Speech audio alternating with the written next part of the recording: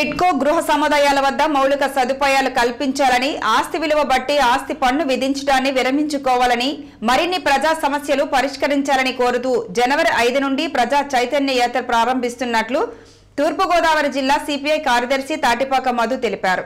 Municipal stadium వద్ద ఉన్న CPI కార్యాలయంలో ఏర్పాటు చేసిన విలేకరుల సమావేశంలో మధు మాట్లాడుతూ టిట్కో హౌసింగ్ పై రాష్ట్ర వ్యాప్తంగా సిపిఐ చేసిన ఆందోళన ఫలితంగా రాష్ట్ర ప్రభుత్వం కదిలి వచ్చిందని అయితే రాజమహేంద్రవరంలో నిర్మించిన గృహాల వద్ద మౌలిక సదుపాయాలు కల్పించడంలో జగన్ ప్రభుత్వం విఫలమైందన్నారు.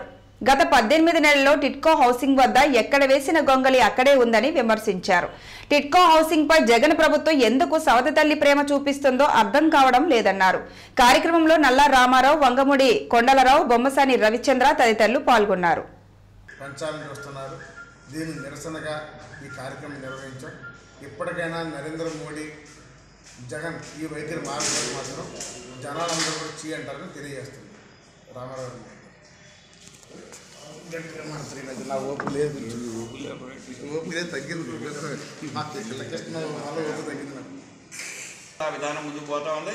రేపు ఫిబ్రవరి నెలలో దీనికి సంబంధించిన నోటిఫికేషన్లో బిల్లుల ప్రకారంగా ప్రజల దృష్టికి తీసుకొస్తారు ఇది ఈ లోపల మేము ప్రచారం చేసి ఇప్పుడున్న పన్ను మీద పది రెట్లు పదిహేను రెట్లు పెరిగేటువంటి పన్నుల విధానం మున్సిపల్ పన్నుల విధానం సరైనది కాదని చెప్పేసి మేము పోరాటం చేయబోతా ఉన్నాం.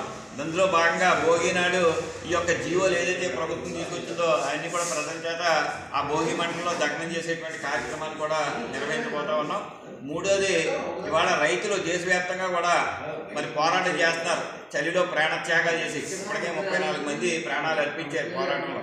ప్రభుత్వం కేంద్ర ప్రభుత్వం మొండిగా ముందుకు పోతా ఉంది.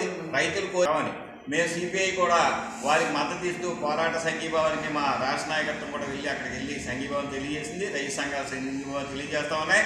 ఊళ్ళో కూడా మేము కూడా ఉమ్మడి వామపక్ష పార్టీలుగా ఈ రైతు సమస్యల మీద వాళ్ళకి మద్దతు ఇస్తూ కార్యక్రమాలు నిర్వహిస్తాం. మీ అందరికీ తెలిసిన విషయమే. అయినప్పటికీ కూడా ఈ యొక్క సమస్యలు పరిష్కరించే వరకు ప్రజా వ్యతిరేక విధానాలు అనుసరిస్తే ప్రభుత్వాలకి వ్యతిరేకంగా మేము పోరాడతామని చెప్పేసి అందులో కార్యక్రమంలో భాగంగా రేపు ఐదో తారీఖు నుంచి మరి పాదయాత్ర కార్యక్రమాలు కూడా సచివాలయాల దగ్గర ఈ మున్సిపల్ పనులు టిట్కో ఇళ్ళు గృహ సమస్యల మీద అన్నింటి మీద పనిచేస్తున్నామని చెప్పేసి మీడియా మిత్రులందరికీ తెలియజేస్తా ఉన్నాం. సిపిఐ నాగర్ వచ్చి నవరామ